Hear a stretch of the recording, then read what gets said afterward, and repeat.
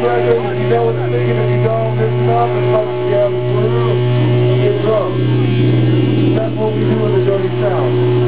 So I'm looking forward to hanging out with all y'all and fucking get fucked up. We got shit to sell, right